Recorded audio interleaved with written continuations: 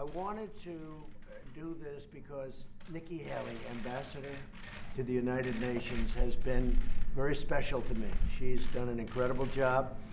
She's a fantastic person, very importantly, but she also is somebody that gets it. She has been at the United Nations from the beginning with us, right from the beginning, and worked with us on the campaign. It's been really a long time, very intense, and she told me probably six months ago, she said, you know, maybe at the end of the year, at the end of a two-year period, but the end of the year, I want to take a little time off. I want to take a little break. She's been a very successful, as you know, governor of South Carolina for eight years, and uh, then she uh, she did this, and this is possibly even more intense with what's going on in the world, and very dangerous, and a lot of things.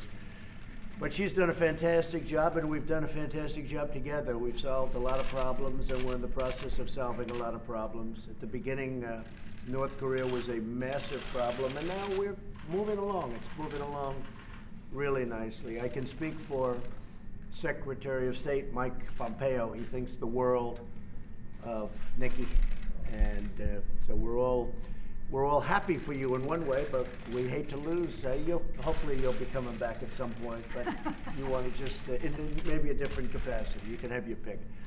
But uh, I just want to let you know so at the end of the year, Nikki will be leaving and uh, we'll be in constant touch. I know that whenever you have any ideas, you're going to call me because you know all the players.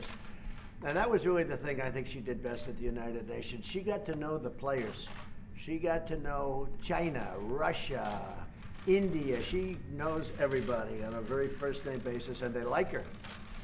Except for maybe a couple, which is normal. Right? They can't all like you, but they, they do. They really like her. And I think maybe more importantly, they respect her.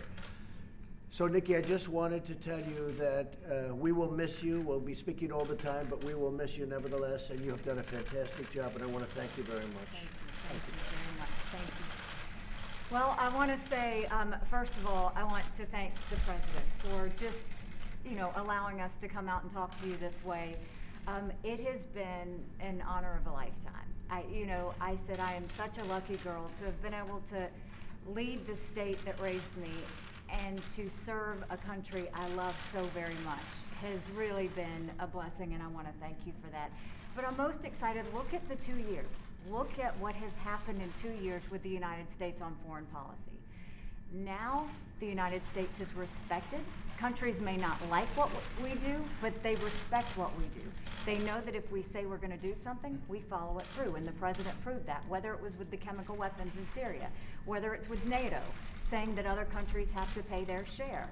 I mean, whether it's the trade deals, which have been amazing, they get that the president means business and they follow through with that. But then if you look at just these two years at the UN, we've cut 1.3 billion in the UN's budget. We've made it stronger, we've made it more efficient.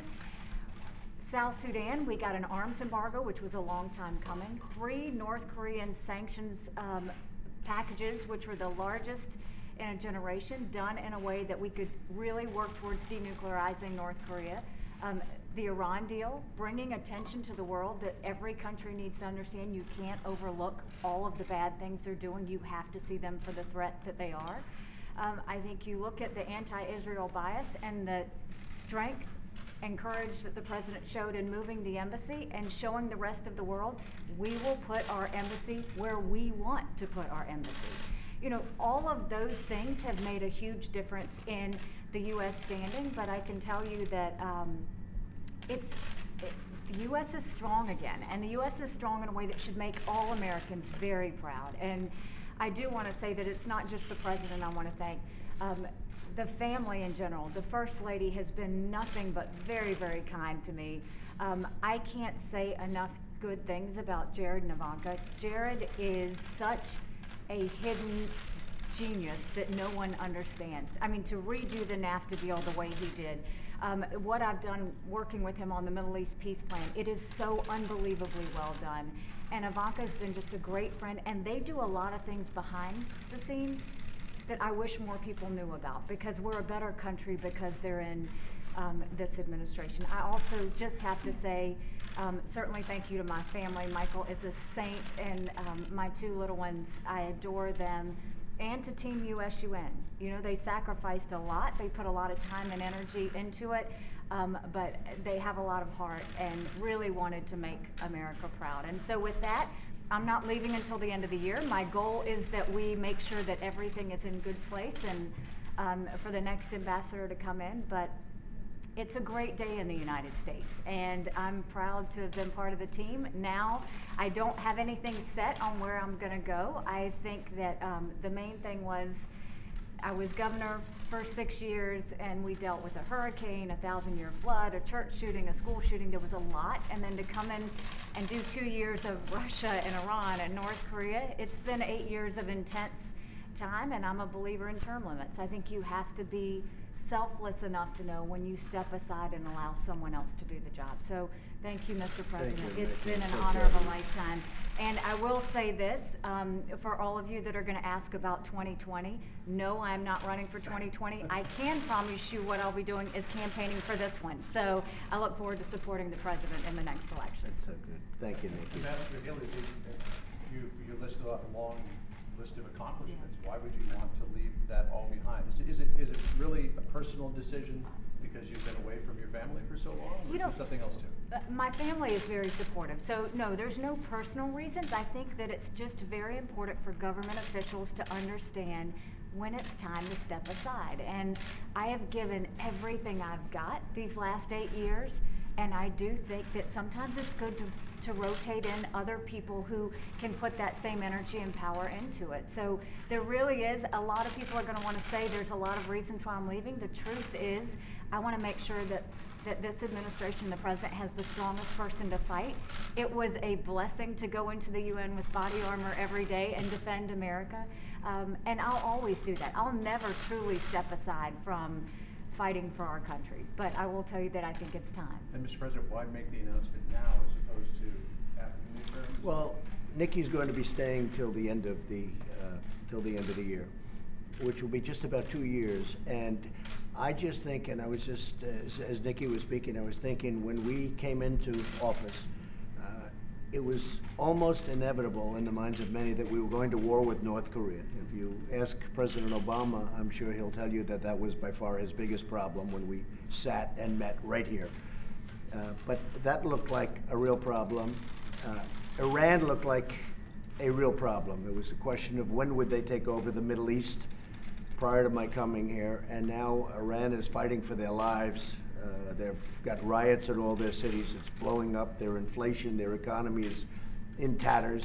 And at some point, they'll probably come and want to make a real deal, not the deal that they made, the ridiculous deal that they made. That was unacceptable to me. And so we'll see what happens. But what a difference between Iran when we first came, I'd like to say the day before we came, and uh, also if you look at North Korea, I mean, there was a, a deal that there was something that was. Uh, it was a devastating, potentially devastating problem, and now the relationships are very good.